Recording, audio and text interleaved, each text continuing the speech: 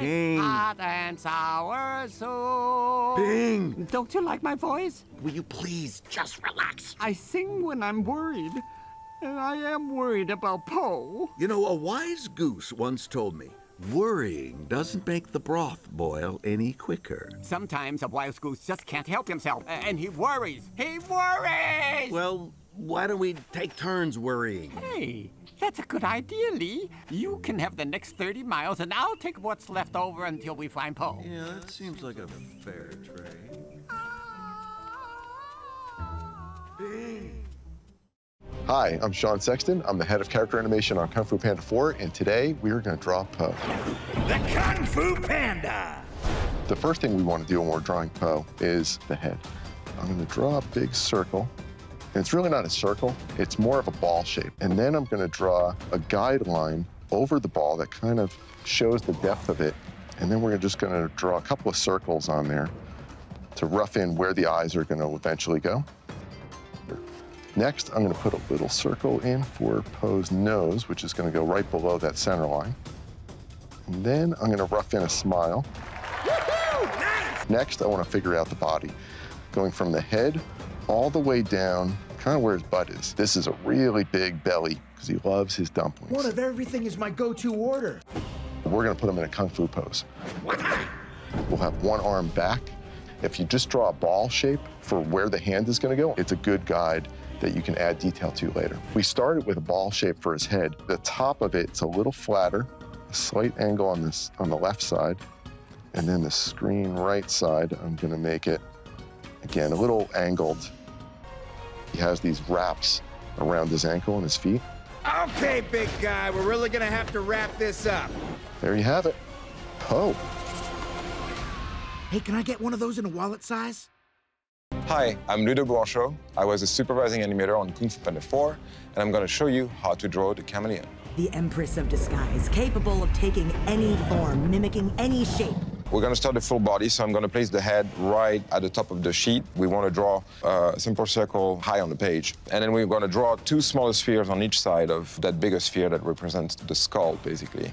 And then the eyes are very, very simple circles with the lids overlapping, and then the iris in the middle.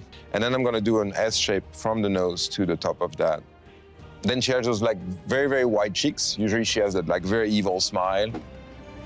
I can actually just go around and really define the side of her face. So S shape through the head to the ground. So now I have I have everything that makes her silhouette work. I'm gonna take the the height of the dress and right in the middle I'm gonna I'm gonna do a little little marker which is gonna be the bottom of the sleeves. We have that that circle that defines the chest. I'm gonna do two others for the shoulders, left and right, and these are gonna be used to to kind of create the arms.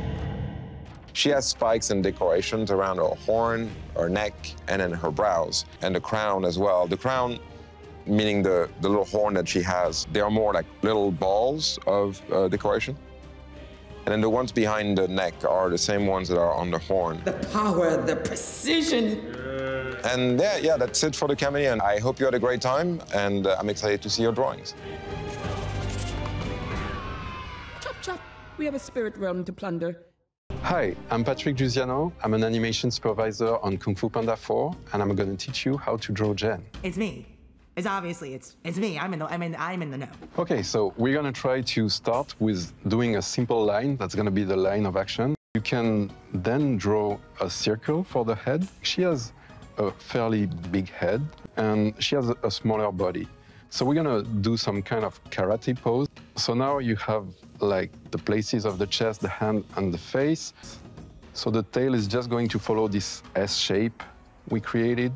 You have the overall pose here. Let's keep moving.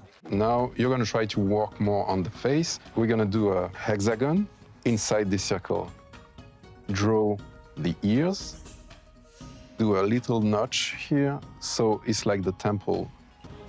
I like to have like a bit of frown, like she's a bit sly. Let's just say a face like mine is hard to forget. Then you need to create the pupils, like just simple circle, and the lids. And then she has a little bit of fur on top of her head here. And then the paws, you need to draw these half circles, kind of the Kung Fu Panda style. We're gonna work on the tail, just add some fur to it, I think you're good. I love that for you. That's it. You have Zhen. Catch you later, Panda.